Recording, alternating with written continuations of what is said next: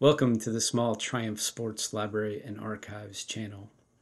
At the end of the last episode that I produced and uploaded, episode 13, I noted that I have been working up material for a long planned series of videos in which I will occasionally correct errors that have appeared in earlier videos or clarify fuzziness in earlier videos talked about the fact that I plan to refer to these as errata videos.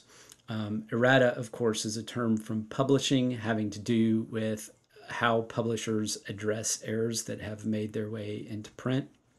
So I'm taking a little bit of creative license in using that term for my videos in which I issue uh, corrections, adjustments, clarifications, but this is the Small Triumph Sports Library and Archives channel, so uh, hopefully that kind of works.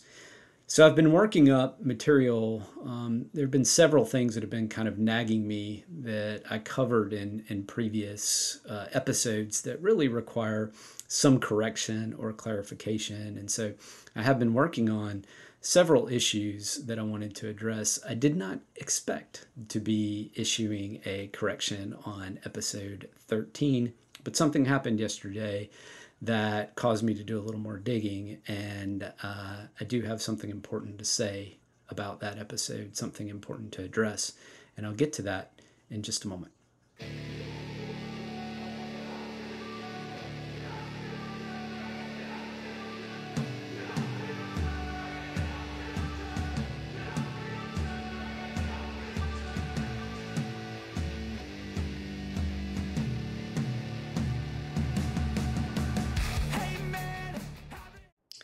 All right, so here comes uh, my first errata uh, video. I'll have at least two or three coming out in the short term. And as I mentioned at the end of episode 13, I wasn't sure whether I was going to try to you know take the several corrections that I really thought needed to be made and lump them into one video or whether I would do multiple videos. And at this point, it's probably going to be at least two and maybe three videos. But before I launch, let me say that I always go back in and correct errors in the video description. Um, I really want to be transparent, uh, so I don't really want to alter my videos and re-upload them and, and that sort of thing unless there's just really a, you know, deep flaw that that uh, requires me not wanting to put something uh, out there. And hopefully that won't happen but there are always notes and corrections in the video description and whenever i stumble across something relevant i will go in and add information in there. Um, it's all part of uh, trying to keep things as accurate as possible and trying to provide as much context as i can for the different things that i cover. Also i'm not going to make a correction video for every little thing that comes up so, you know, if I'm in a video and I say nut when I mean bolt, there, I'm not going to make a video correcting that. I'll clean that up in the video description, and, uh, you know, that should be uh, fine. Um, I'm sure a lot of people don't look at the video description, but I actually do try to make my video descriptions useful. Not only do I provide notes and corrections, but I also try to provide works cited uh, information for all secondary sources in particular. I don't always do it for primary sources um, because it doesn't, it just seems unnecessary uh, in most cases. But um, secondary sources in particular, I am very careful to document. Anyway, here's what happened to me yesterday. So I've been very busy lately, but I had a little bit of time and I made it out to the monthly um, brunch slash lunch meeting um, that my British Car Club has. And a fellow club member drove his 1973 GT6, Mark III, of course, to the meeting. And as I was walking around the car, I stopped and looked at the Triplex manufacturer's mark on the heated rear window of the car, confident that I could decipher it based on um, you know the research that I'd done for my previous uh, video, episode 13. And I looked at it and I could not decipher it at all. And that led me to do some additional research, and now here I am doing some cleanup work. But I'm getting a little bit ahead of myself. Let's go back and then we'll move forward with corrections. So, in episode 13, I attempted to decipher the date code on the triplex manufacturer's mark on the glass of my 1969 Triumph GT6 Plus. And based on the source that I had seen, triplex dated the glass based on the following. First of all, in order to indicate the quarter of the year in which the glass was manufactured, Triplex used the first two and last two letters of the Triplex name at the top of the logo. So a dot over the T at the beginning would be first quarter of the year, a dot over the R would be the second quarter of the year, and then moving to the end of the triplex name, a dot over the E would be third quarter, and a dot over the X would be the fourth quarter. Then the year of manufacture was indicated by a dot under the line at the bottom of the logo, in this case, Hotline Sundym. So no dot, of course, would be zero. And then if there was a dot, you would count the number of letters um, moving from the beginning of the line in order to determine the number representing the last digit in the year. So in the case of my glass, the line is hotline Sundym. So we count starting with the H and go to the S where there's a dot underneath it. And that means that S represents 8. So the glass was manufactured in 1968. In episode 13, I stated that the dot over the T meant that my glass was manufactured in the first quarter of the year. So I had stated that I thought the glass was manufactured in the first quarter of 1968. My car was built in early August 1968. So that made sense, seemed to work. However,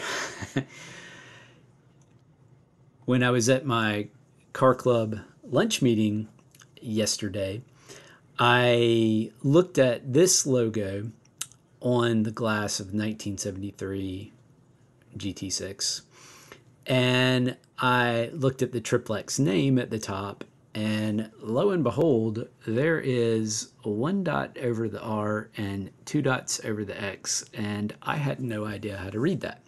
Now, the bottom line, we have uh, toughened, and there's a dot under the O in toughened, which of course is the second letter. So um, that was a two, and so obviously 1972, and that made sense for a 1973 car.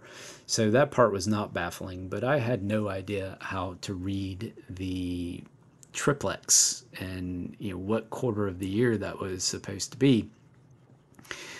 That's when I realized I needed to do some more digging because I, of course, immediately thought back to how it was a little bit confusing that my own logo had two dots over the T. And in my video in episode 13, I speculated that maybe at some point triplex had started to indicate the specific month, but I had not seen any information about that in any of the sources I had looked at to that point. But when I saw this on a 1973 GT6, I realized that I needed to be doing more research uh, so that I could figure out what was going on. And lo and behold, I found a source that indicated that in January 1969, Triplex actually started using various single and double dots over letters in the triplex name in order to indicate the specific month of manufacture. Now, the source said that Triplex began doing this in January 1969, but there's a comment on the source itself, and then, of course, we have other evidence, including uh, my own glass that was manufactured in 1968, that suggests that Triplex started doing this in 1968. If that's the case, and it seems to be the case, then Triplex was indicating the actual month of manufacture for the entire run of GT6 heated rear glass that was manufactured. And so uh, that's important to emphasize. Um, so, how do we read this? Well, let's go back first and foremost to my glass so I can correct that. we have two dots over the T. If Triplex was using this new system that indicated month of manufacture, then my glass uh, was manufactured two dots over the T. You can see based on that chart in May of 1968, which makes perfect sense. Actually, probably makes a little bit more sense than the first quarter of 1968 which was, uh, of course, what I originally stated, uh, based on assuming that the markings should be read based on the oil, old style of triplex indicating the quarter of manufacture. So um, my glass was manufactured in May of 1968. As I indicated in my video, uh, my car is an early August 1968 build, so that makes perfect sense probably makes more sense that it was manufactured in May than in the first quarter, even though you know, we're only talking about a couple of months difference in that case. Now, how to read this uh, 1973 GT6 um, glass. Um, dot over R, two dots over X. We go to our chart. Um, dot over the R and two dots over the X, you can see down toward the bottom there is October.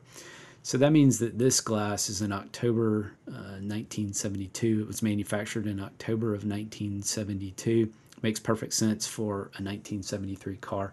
I don't know the exact um, month and, and, year of manufacture of this car. I just know that it's a 1973 model year car. It's a late non-Rotoflex car. Certainly October of 1972 makes perfect sense uh, for the original glass uh, for that car. But here's the especially important point.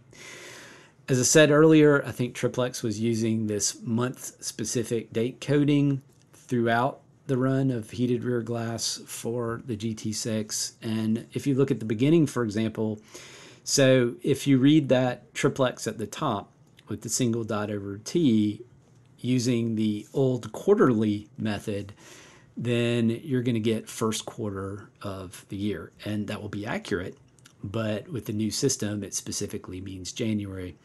But note the second on the list, triplex with the dot over the R, that means February. Well, if you read that using the old method, um, then you're going to think second quarter of the year, and that, of course, is not accurate. Uh, February obviously does not fall in the second quarter of the year.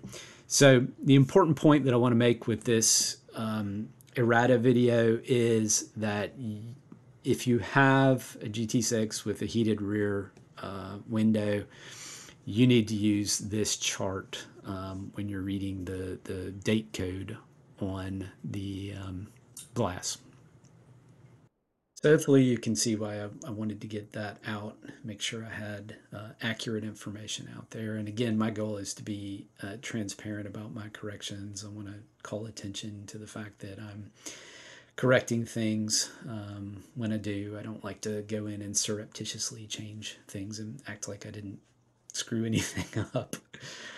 I have uh, other things in the works. The um, next video I think that I will end up posting barring something unforeseen, is actually going to be another errata video. This one dealing with the fuse box. I talked about the Spitfire and GT6 fuse box back in episode 8. And while I stand by the basic things that I covered in that video, I really talked about the fuse box itself in an inexcusably uh, fuzzy way, and I want to do some uh, cleanup work with that. That one's really been nagging me for a while. Um, and I have a couple of little other issues I want to address. I may combine that into a single video. I'm not completely sure yet, but I do expect uh, my next video to be an errata video and the fuse box issue to be the main focus in that video. I also have some regular episodes uh, that I'm collecting information for as well. So, as usual, a number of things going on in the background. I hope to be back before too long. Thanks for watching. Take care.